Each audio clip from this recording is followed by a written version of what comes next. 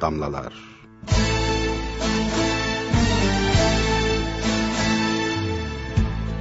Bize ayrılan şu dakikalarda ağırlıklı olarak edebiyatımızdan, gönül sahibi, kalem sahibi üstadlardan dünyaya bakış açısını yeniden gözden geçirmemize yarayacak özellikle de dünyanın geçiciliğine vurgu yapan sözlere işaret ediyoruz. Başka konulara da temas ediyorsak da ağırlık bu bildiğiniz gibi. Bu defa Aşkı isimli ünlü ve büyük divan şairinin sadece bu konuya hasredilmiş altı beyitlik gazelinden bakalım ne kadarını izaha fırsat bulacağız. Oldu tut redifli. Buradaki tut kabul et, farz et, say ki yani öyle kabul et bakalım ne olacak gibi anlamlara geliyor o şekilde kullanılmıştır. Şahı dehr oldun sipih rüstünde eyvan oldu tut, sen göçüp gittin bu menzilden o viran oldu tut. Akıbet her verdiğin alır bilirsin dehridun, bu harababat pür genci firaban oldu tut.'' Hakı tire ulusa rahir birader meskenin, mahı enver bezmi neşem işebistan oldu tut. Caygahın akıbet bir iki tahte paredir, hay gafil menzilin tahtı Süleyman oldu tut. Çün perişanlıktır ey dil sonu her cemiyetin, bezminde ahbap cem olup perişan oldu tut. Şerbetin ahir sunar her şahsa kanunu ecel, derdine lokmandan ey dil haste derman oldu tut.'' Dehridun'un devleti ahir hayali ha olur.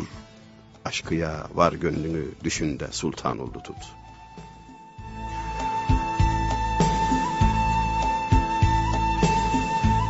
Sevgili dinleyiciler başlayınca hızımızı alamayıp tamamını okuduk ama şimdi şu birkaç dakika içinde seçerek belki birkaç tanesini izaha çalışalım.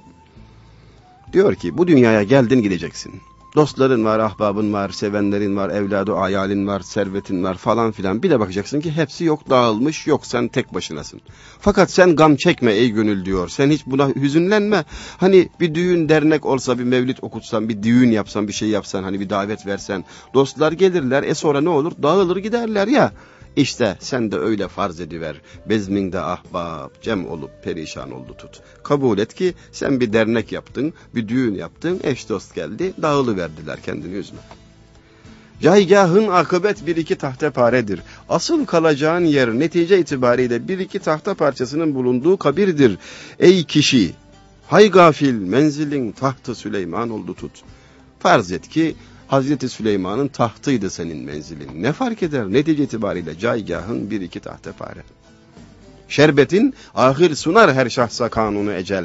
Ecel kanunu Cenab-ı Hakk'ın takdiri odur ki ecel şerbeti herkese sunulur netice itibariyle. E o halde Hazreti Lokman'dan hastalığına derman olsa ne fayda?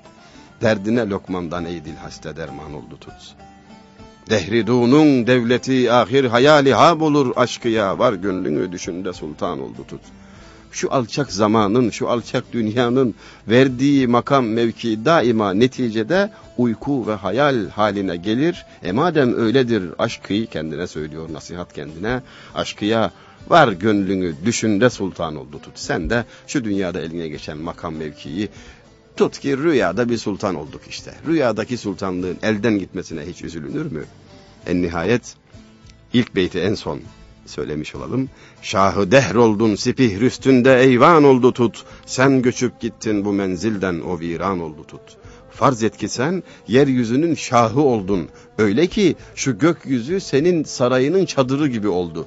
Hani sarayın çadırı üstünü örten çatı büyük olsa, çadır büyük olsa insan bununla övünür ya. Farz et ki gökyüzü senin sarayının çadırı oldu. Yani sen yeryüzünün tamamına sultan oldun. E ne olacak? Sen göçüp gittin bu menzilden o viran oldu tut. Yıkılmaya mahkum değil midir? Viran olmaya mahkum değil midir? Akıbet her verdiğin son demiştik ama son beyt açıklamaya da galiba birkaç saniyemiz var. Akıbet her verdiğin alır bilirsin dehridun. Bu harababat pür genci firavan oldu tut. Firavunların hazineleri sana ait olmuş olsa bile biliyorsun ki alçak dehr zaman her verdiğini alır. Sakın sakın ola ki gam çekme.